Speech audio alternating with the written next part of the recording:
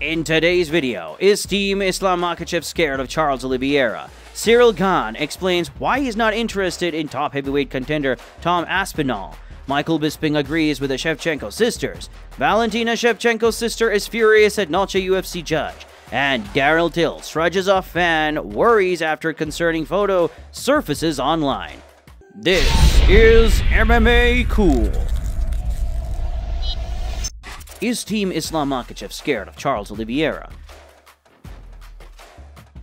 Moving on, Islam Makhachev's coach Javier Mendez is preparing his student to face a much improved version of Charles Oliveira at UFC 294.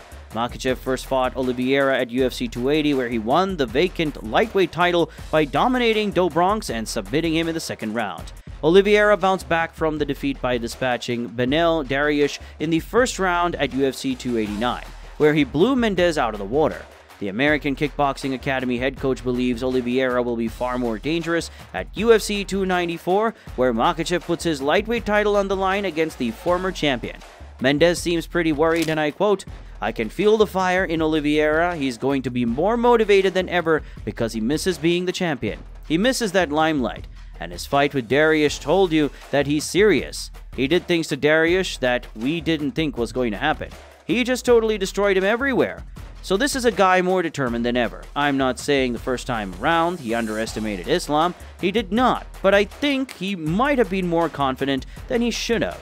So this time around he's not going to be overconfident and he knows Islam is the most dangerous guy he fought.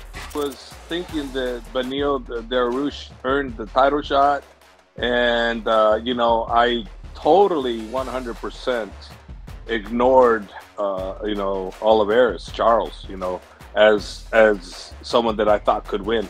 I was thinking he could win, but to be honest with you, I kind of just ruled him out, you know, as as not going to have a spectacular performance. Who do you think will win the upcoming lightweight title fight between Islam Makhachev and Charles Oliveira at UFC 294? Ciryl Gane explains why he's not interested in Tom Aspinall. Ciryl Gane thinks a non-title fight with fellow heavyweight Tom Aspinall makes no sense. Gane has fought for the UFC heavyweight title twice, losing both times, most recently losing to Jon Jones in their vacant heavyweight title fight at UFC 285. In his most recent fight, Gane dispatched Sergey Spivak to return to winning ways, and he's now hoping to fight the winner of Jon Jones versus Stipe Miocic. Anything other than that makes no sense for the Frenchman. And any idea what is next for you? I saw Tom Aspinall was there. It seemed like he was interested. Uh, what do you think happens Yeah. next? Uh, I know a lot of people talk about Aspinall, but this doesn't make sense for me. Like uh, like every time uh, with my management, uh, they did a really great job all of my career. You see, that's why he was really so fast. And now I just want to go to the bed. I'm number one Katanda He's number four. It doesn't make sense. I just want to go now. I did it already. Like uh, it was a big risk against this wrestler. So now I, I don't want to do to make a and to to have another risk. I just I want to take a risk for for something for a big deal. You see. And uh, and I'm, st- I'm I'm gonna stay here for a lo- for for for a long time. So we're gonna have time with Tom Aspinall for sure. We're gonna come. So no worries for the people. We're gonna do this fight. But now my my fight is not this one. I just want the belt and I want to go to belt. So, so what do you? Does Ciryl Gane deserve a title shot? Michael Bisping agrees with the Shevchenko sisters. Former UFC middleweight champ Michael Bisping tends to agree with the Shevchenko sisters. He believes Shevchenko won the fight three rounds to two, but even a victory by four rounds to one wouldn't have surprised him. Needless to say, Bisping was challenged by many MMA fans for his 4 to 1 scoreline as if it mattered. Bisping has now responded to his critics as well as given his thoughts on Mike Bell's controversial scorecard. on how you score a fight. So, listen, opinions are like souls. Everyone's got one, and apparently I'm the biggest because if you go on Twitter, they're ripping me a new asshole right now because I say Valentina Shevchenko should have won that fight three rounds to two, maybe even four rounds to one. Round four was a close one, but still, let's go through it real quick. Which again, I can kind of understand that because maybe the shots from her on top were more damaging. Okay, I'll concede that. I'll concede that. Let's go with that. In fact, let's go with that. Grasso wins that. Well, Shevchenko would have still won. She would have still won the fight three rounds to two, and that's official when you look at the scorecards. But referee Mike Bell gave a 10 8 round to Alexa Grasso in round five. And there's just no way. There is no way that that was a 10 8 round. Now, granted, the understanding of a 10 8 round is a little bit all over the place for a lot of people. Valentina Shevchenko's sister is furious at Noche UFC judge. Antonina Shevchenko is absolutely furious at Judge Mike Bell for ruining her sister's potential crowning moment at Noche UFC. The flyweight title fight between Shevchenko and champion Alexa Grasso ended in a split draw thanks to Mike Bell's controversial 10-8 fifth round score in favor of the Mexican.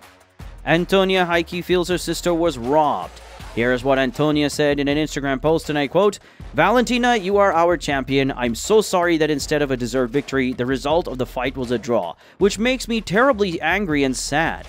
That was because of the meanness of one judge who scored the fifth round as 10-8.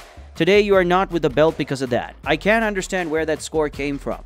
When half of the round you outstriked your opponent with the hands, and half of the round she was taking your back and sitting there and holding the position. Yes, it was a control time, but no damage, so 10-8 in a round like that?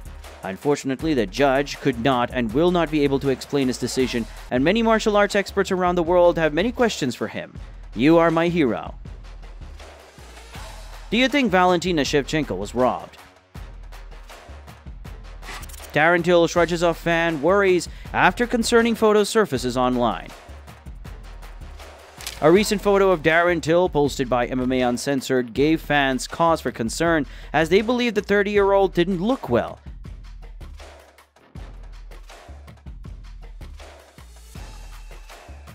Till quickly debunked the comments and conspiracy theories. Here is what he said in a series of tweets, and I quote I see what you did there, MMA Uncensored, as you've done for a while now with me. I like the 2023 picture you've used of me as well, looking like absolute shit after a training session.